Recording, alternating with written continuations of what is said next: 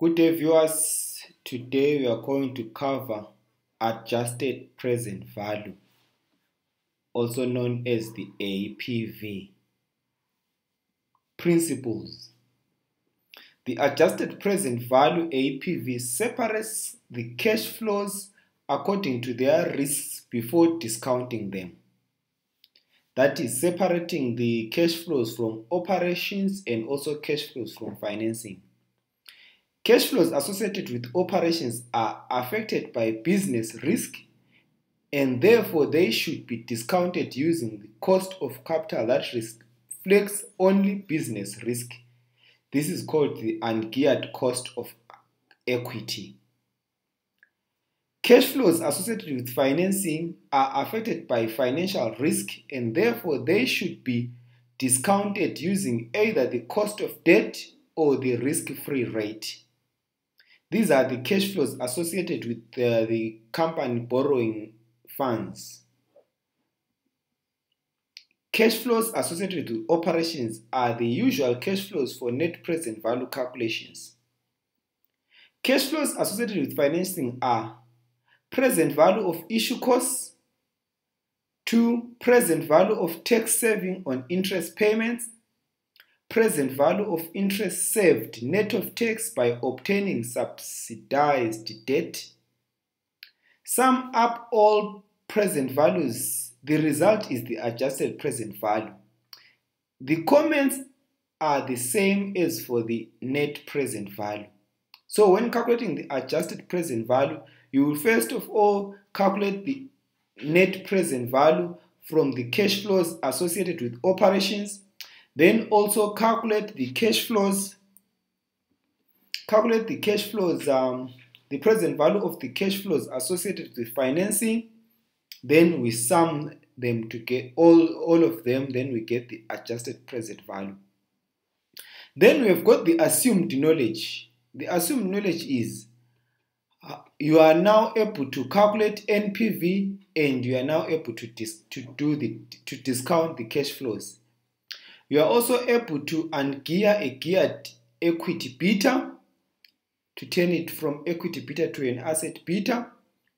You know how to use the CAPM formula and you know the CAPM formula and you know how to how and when to use the annuity factors.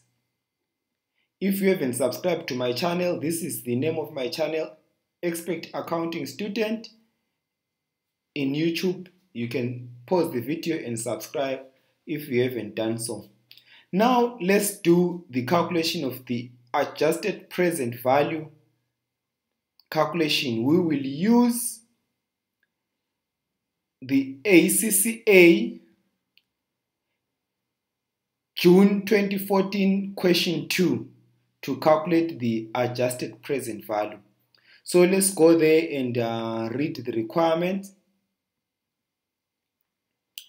We would only do part A. Required. Calculate the adjusted present value APV for the project, correcting any errors made in the net present value estimate above. Conclude whether the project should be accepted or not and show all relevant calculations for 15 marks. Then B. Comment on the corrections made to the original NPV estimate and explain the adjusted present value approach taken in part A, including any assumptions made. This is for 10 marks, totaling 25 marks. Now let's read the scenario then before we answer question A.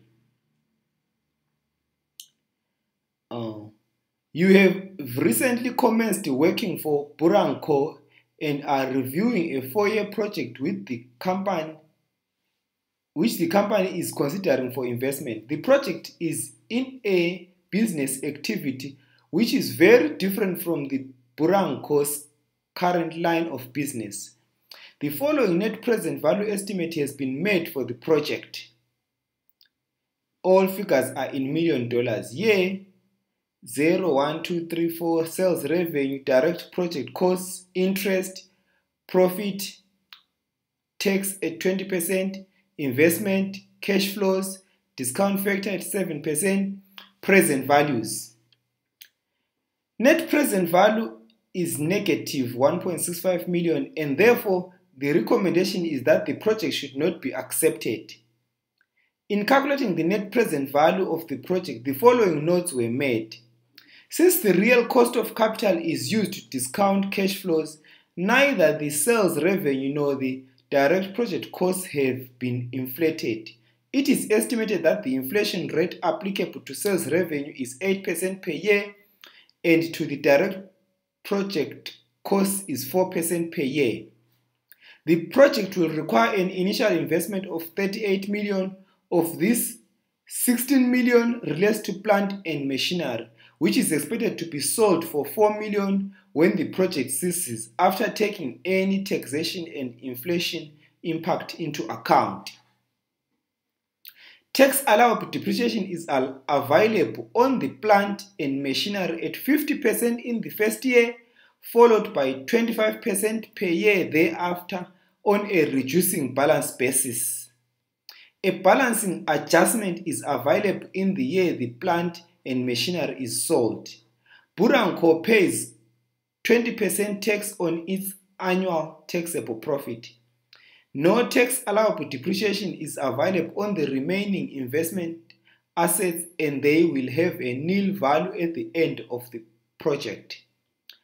Burung Co uses either a nominal cost of capital of 11% or a real cost of capital of 7% to discount all projects given that the rate of inflation has been stable at 4% for a number of years.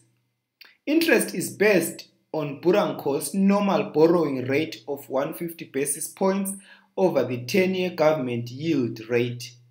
At the beginning of each year, Burung Co will need to provide working capital of 20% of the anticipated sales revenue for the year. Any remaining working capital will be released at the end of the project. Working capital and depreciation have not been taken into account in the net present value calculation above, since depreciation is not a cash flow and all the working capital is retained at the end of the project. It is anticipated that the project will be financed entirely by debt, 60% of which will be obtained from a subsidized uh, loan scheme run by the government, which lends money at a rate of 100 basis points below the 10 year government, de- government debt yield rate of 2.5%. Issue costs related to raising the finance are 2% of the gross finance required.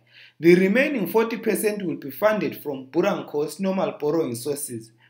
It can be assumed that the debt capacity available to Burung Co is equal to the actual amount of debt finance raised for the project. Buranco has identified a company, Lintuco, which operates in the same line of business as that of the project it is considering. Lintuco is financed by 40, 40 million shares trading at $3.50 each and 34 million debt trading at $94 per hundred. Lintuco's equity beta is estimated at 1.5. The current yield on government treasury bills is 2% and it is estimated that the market risk premium is 8%. Lintu Co pays tax at an annual rate of 20%. Both Burung Co and Lintco pay tax in the same year as when profits are earned. Required. Calculate the estimated present value APV for the adjusted present value APV for the project, correcting any errors made in the net present value estimate above, and conclude whether the project should be accepted or not. Show all relevant calculations for 15 marks.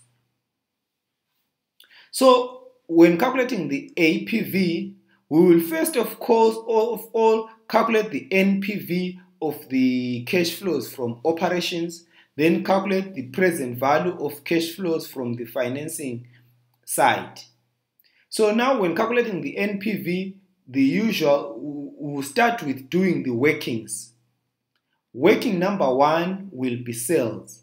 We are told that these sales were not inflated. since the real cost of capital is used to discount, that's not number one. Since the real cost of capital is used to discount cash flow, neither the sales revenue nor the direct project costs have been inflated. This is wrong. Why is wrong? Because um, the cash flows have got different inflation rates. The sales revenue have got an inflation rate of 8%, and the direct project cost has got an inflation of 4%.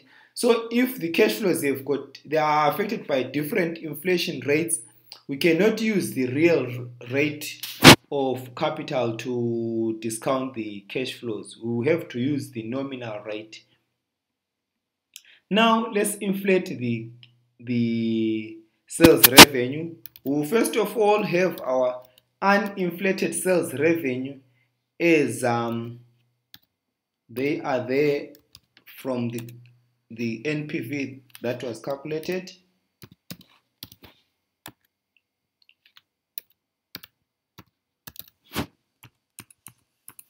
Now we are told that uh, the inflation is 1.8%. So we'll say 1.08 to the power, for the first year is to the power 1. Then if we get that, we can copy the formula up to the end. We have inflated ourselves. Now we go to our direct project costs. For year one, we have got 1382. For year two, 21.96. Year three, 29.44. Year four, 16.28. Let's inflate those. We are given here note number one that uh, the inflation is 4%. So we'll say direct production cost multiplied by 1.04 to the power 1 for the first year. Then um, we can copy the formula up to the fourth year. We have inflated our direct project costs. Then now we go to working for the working capital. Let's pick the note where we are told about the working capital. It's note number six. At the beginning of each year, Burung Co will need to provide working capital of 20% of the anticipated sales revenue for the year. So the anticipated sales revenue for year one is 24.87. So the working capital should be at the beginning of year one. The beginning of year one is year zero. So what we'll simply say, we'll simply say anticipated sales for year one multiplied by 20%. We'll get 4.97 from year zero up to year three. Why not putting year four? If we put year four, we'll be saying this um, working capital will be used in year 5, whereas the project ceases in year 4, so we have to end in year 4. Then now the movement will be 0 minus what will be incurred in year 0, that is 4.97.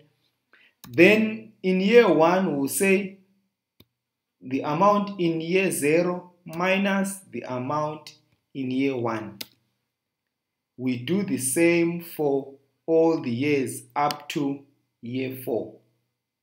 Copy the formula there. If we can check the formula for year 4, if you can check the formula for year 4, it's saying year 3 minus year 4. Year 4 which has got 0 here because we do not have uh, to have the working capital in year four. So now this is the working capital movement that we have. Then uh, we now go to capital allowances. Let's pick the note where we are given capital allowances.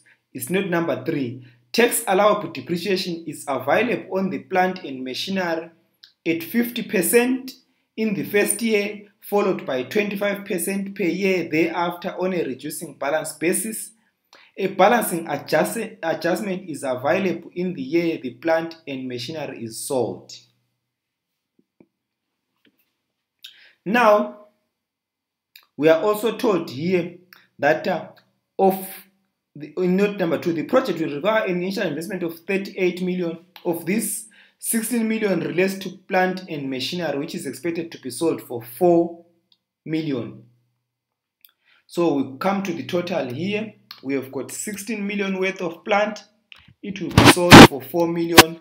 So how much is left? The depreciable amount is 12 million that we need to depreciate. That we, we are allowed to grant the capital allowances. So in the first year, we say 16 million multiplied by 50 percent. We get 8 in the second year we will say it's reducing. So we'll say 16 million minus 8 million that is incurred in year that is allowed in year 1 multiplied by 25 percent the second year the third year we will also say a reducing balance basis, we say 16 minus 8 that was allowed in the first year minus 2 that was allowed in the second year multiplied by 25%. We get 1.5. Then in the fourth year, we, we are told we will get the balancing allowance. So the balancing allowance now will say total allowable capital allowances, which is 12, 12 made up of 16 minus 4, less everything that was uh, allowed in year 1, in year 2, and in year 3. So the capital allowance for year 4 becomes 50, 0.5 million. Then we come to tax now, tax calculation. Our tax calculation will say sales, we'll pick our sales from the top. I encourage everyone to use this format for calculating the tax. Then for direct, direct project cost, it's that one. Then we copy the formula there then capital allowances we are given here. We can copy the formula up to year 4. Then we get our total.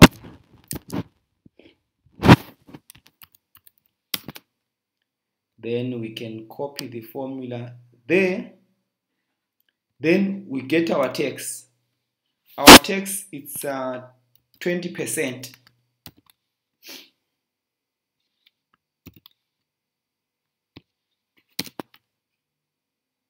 then we can copy the formula there.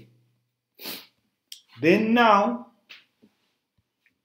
we have to ask ourselves uh, of the cost of capital that we need to use. We cannot use 11% as uh, this project is on a different line of business as uh, our normal business lines for Burung Co. But we are given here a proxy company. The proxy company is Lintu Co, which is in the same business as our project. So we'll take our the beta for the equity beta of the proxy company, which is 1.5. Then um, we'll have to ungear to remove the financial risk, the gearing, the risk caused by the gearing, we have to ungear this 1.5 so that at least we'll get the asset beta that has got only business risk in it. Because when calculating the adjusted present value, we want the cost of equity ungeared. The cost of equity that is not affected by the gearing. Because um, after calculating the NPV, we will calculate the present value of the financing cash flows we will be considering now the financial risk. So now for Lintuco, the value of equity we are given here is 40 million shares at $3.20. So we'll say 40 multiplied by $3.20 we get 128. Then the value of debt of uh, Lintuco, we are saying we are told is 34 million multiplied trading at 94 per 100. And also the tax rate for Lintuco is what is 20%. So the value of debt, it should be value of debt net of tax. So the value of debt will be 34 multiplied by 94 divided by 100 multiplied by 1 minus the tax rate of 0 comma 2 then we get that. Then we can uh, sum to get the value of the whole company of Lintu Co which is that one 153.57 then now we have to ungear this um, equity beta I assume everyone knows the formula for ungearing. So I will simply say 1 I will simply say 1,5 which is the equity beta multiplied by value of equity divided by value of equity and value of debt. I will get the equity, the asset beta of 1,25. I will also assume that uh, people now know the formula for the CAPM. Then now we we have to use that asset beta to calculate the cost of equity using the capital asset pricing model. Right, here we'll say risk-free rate of return. The risk-free rate of return is equivalent to the current yield on government treasury bills, which is 2%. So I'll say 2% plus the asset beta multiplied by the market risk premium of 8%. We get 12% as the cost of um, equity ungeared. Then we'll use this percentage to discount our cash operating cash flows. Let's calculate our base case NPV starting with sales. We get our sales there.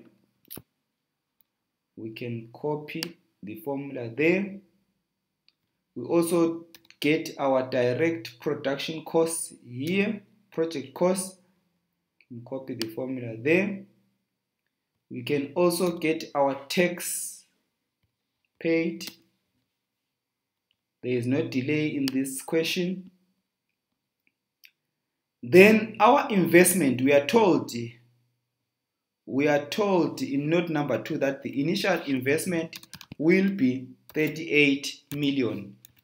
And at the end of the year, fourth year, the plant will be sold for 4 million. Then we get our um, working capital movement. Let's go to the working capital. Here is our working capital, working capital from working number three.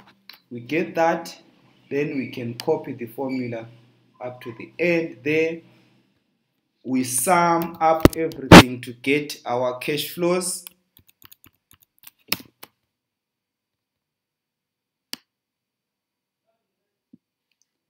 Then um, we discount our cash flows using that 12% so in year 1 0 is 1 in year 1 it's 1 divided by 1.12 in year 2 is year 1 rate divided by 1.12 then um, we can copy the formula up to year 4 then what will be our present values? It will be cash flow multiplied by the discount factor.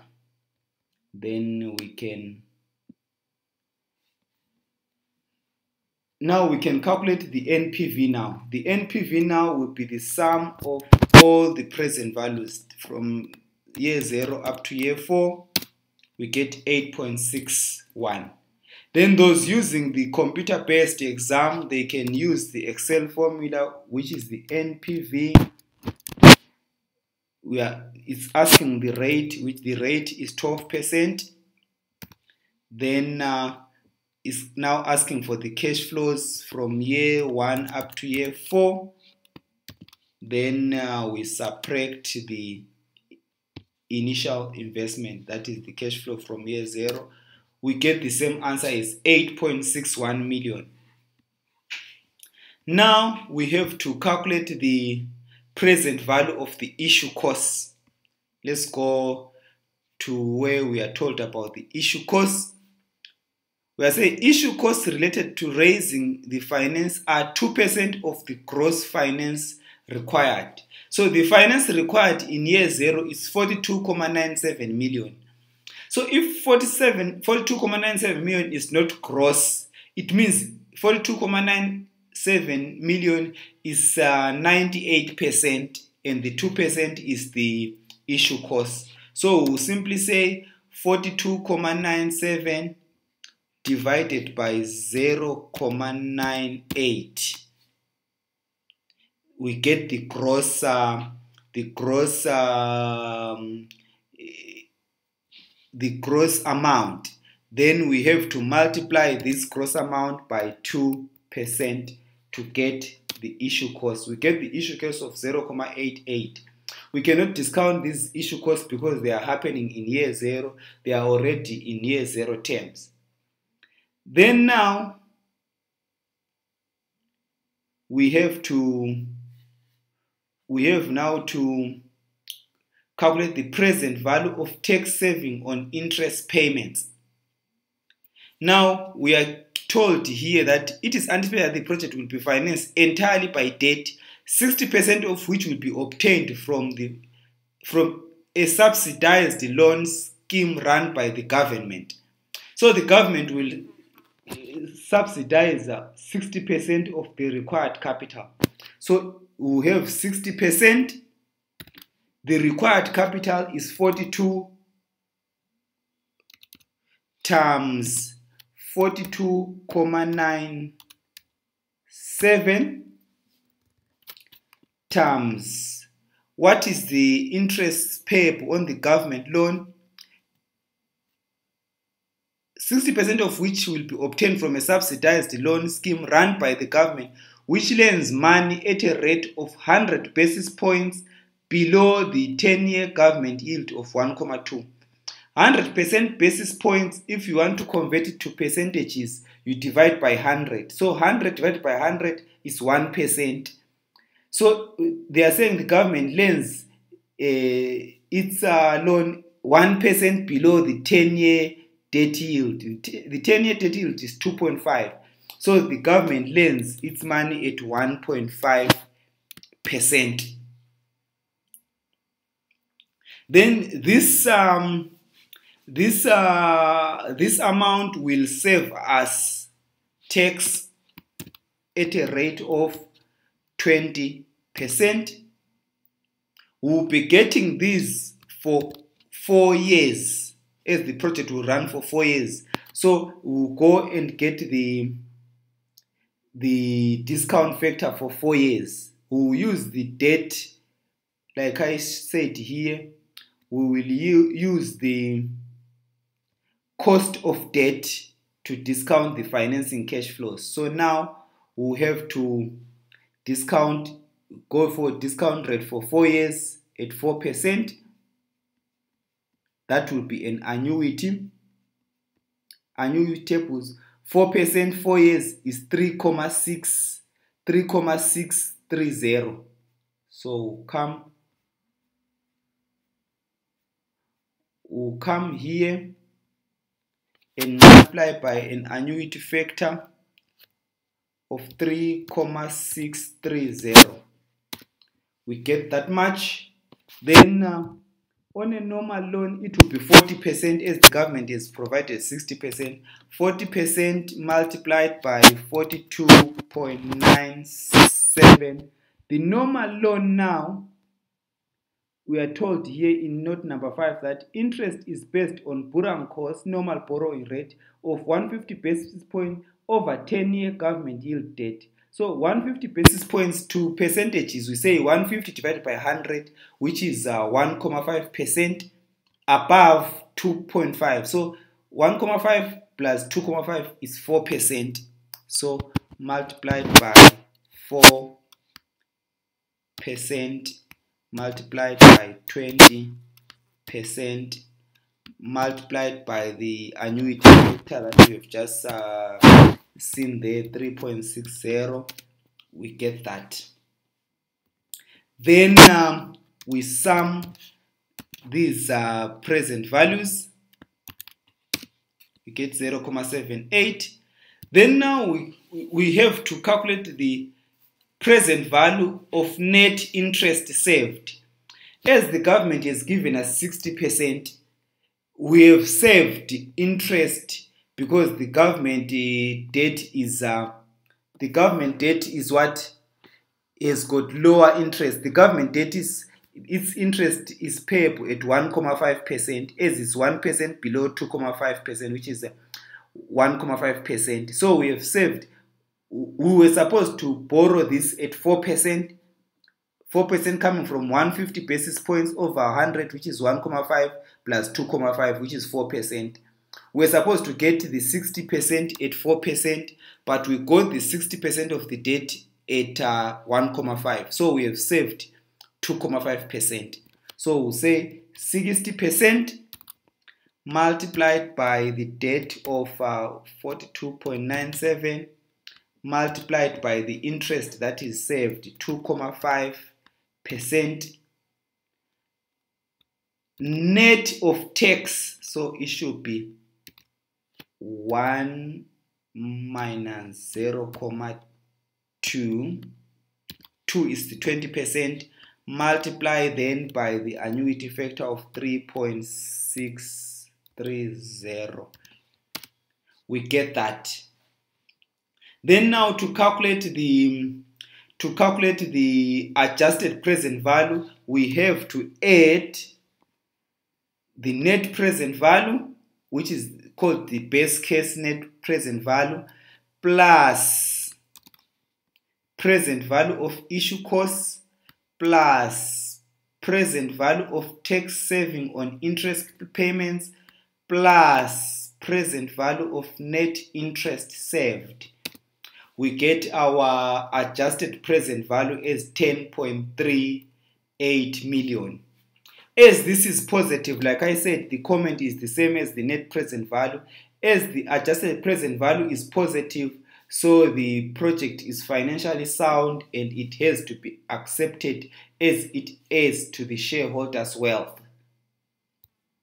This is what you are supposed to do for 15 marks.